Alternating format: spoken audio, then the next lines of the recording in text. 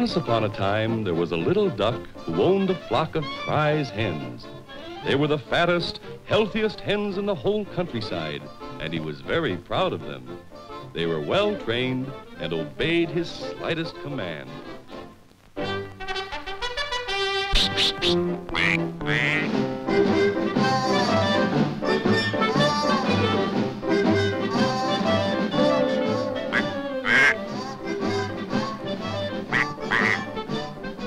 Now, this little duck was a practical duck, for he knew that a clean hen meant a contented hen, and a contented hen laid bigger and better eggs.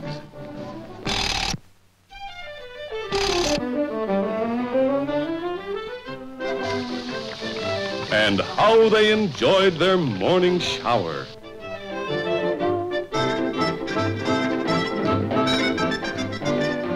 A brisk rub down with a rough towel, and they were ready for the day's work.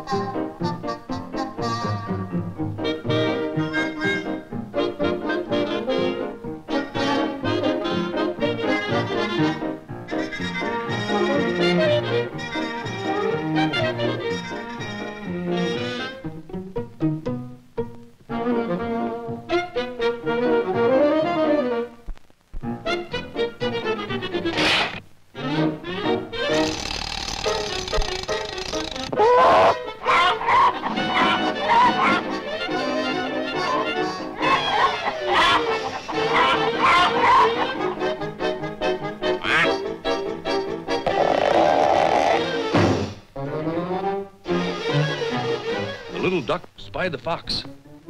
It dawned on him what he was after. I must do something quickly, he thought, or the fox will have my chickens. So he went to the dog. Please help me, he cried. The fox is stealing my chickens. I'd love to, said the dog. But uh, as you see, I'm all tied up and can't possibly get away. Whereupon he went to the pig. Please help me, he cried. The fox is stealing my chickens. I asked the dog, but he's all tied up. The dog may be tied up, said the pig, but I'm tied down. I can't help you. Ah, I know who will help me, thought the little duck. My friend, the fish. So he ran and dove into the brook. Please help me. The fox is stealing my chickens. I asked the dog, but he's tied up. I asked the pig, but she's tied down. Well, now, said the fish, if it was any day but Friday, I'd be glad to help you. There was only one thing left for the poor little duck to do, and that was to do it himself.